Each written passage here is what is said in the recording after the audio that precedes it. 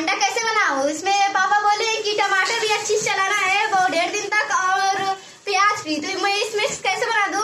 अगर इसमें से थोड़ा सा काट कर भी डालूँगी तो पापा जान जाएँगे तो डांटेंगे बहुत ज़्यादा। बना दीजिए अंडा रोटी। अच्छा चलो ठीक है चटनी रोटी बना देती हूँ तुम खा लो। नहीं मुझे अंडा रोटी चाहिए। नहीं मैं तुम्हें चटनी पीस कर दे रही हूँ। नहीं मुझे अंडा रोटी चाहिए। नहीं अगर देख लेंगे पापा तो तुमको भी डांट पड़ेगी और मुझको भी डांट पड़ेगी। तो मैं नहीं खाऊँगी और मैं कोई काम भी नहीं करूँगी और स्कूल भी नहीं जाऊँगी। तो मत खाओ और नत नत पढ़ो। फिर जब पापा पूछेंगे तो मैं क्या कहूँगी? और तुमको पढ़ाना भी है तो मैं कह दूँगी कि वो नहीं पढ़ रही है। और मुझे मार नहीं खाना, इसलिए मैं कह दूँगी, तुम चाहे पढ़ो या मत पढ़ो, और चाहे खाओ या ना खाओ, मैं तुम्हें अंडा नहीं बनाऊँगी। उसमें लहसुन और टमाटर और प्याज डालकर। तुम भी पापा से बता दो आज के बाद मैं भी स्कूल नहीं जाऊँगी।